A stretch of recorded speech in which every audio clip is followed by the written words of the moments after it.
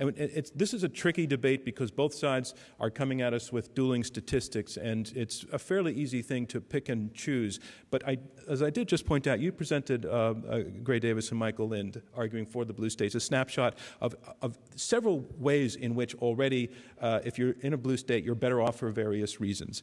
But the, your opponents, I think, are arguing about a dynamic uh, as opposed to a snapshot. They're arguing that, that all, everything you say may be true, but that the trend is going in the direction of the, the red states. And I want well to ask said. you, Michael Lind, to take that on.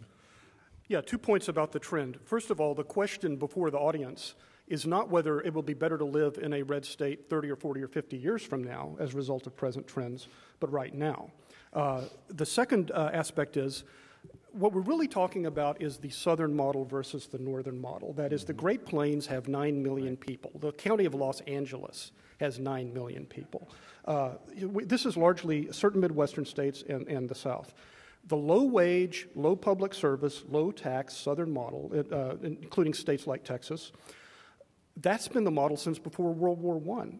A hundred years ago, there was a big achievement gap on all of these same statistics between the southern states and the northern states, the so called blue states.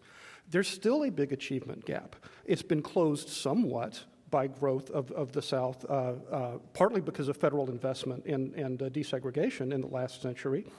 But so that's, I would turn it into a question to them what date are we talking about? Because if it's 2013, you get a different answer to the question than in 2035. And what leads you to believe that another hundred years of low wage, low tax smokestack chasing, luring companies from other states, which Mississippi has been doing for a century, is going to do any better than it has done in the last century?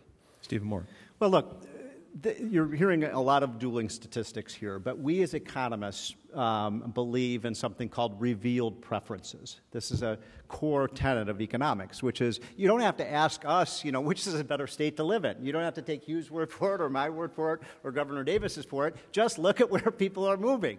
If you were right, people would be moving to the blue states, but they are not. And you may be right that you have all these wonderful things in blue states that make them a wonderful place to live, but you know what? People don't want to live in those states anymore. You're seeing for every one person that's moving to the states that you're defending, four people are moving to the states. Stephen, that, how, that how is your, so, so this is just an incontrovertible fact. People are moving there.